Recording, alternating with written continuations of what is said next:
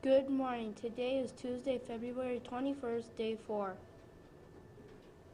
My name is Natalie. And my name is Cole, and we are from, From Homeroom Homeroom 5E. The lunch menu for today is hamburger with bun, cheese, toma- tomato slice, and bright green leaf lettuce, Bashful baked beans, seasoned fries, and chilled fruit choice. The weather forecast today is mostly sunny with a high of 58 and a low of 40. Celebrating a birthday today is Ashley in 5A. And Cole in 5F. Happy birthday!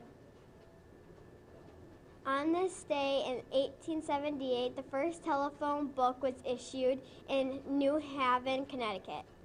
Please stand and join us for the reciting of the Pledge of Allegiance. I pledge allegiance to the flag of the United States of America and to the republic for which it stands, one nation, under God, indivisible, in liberty and justice for all. You may be seated and make today a great day.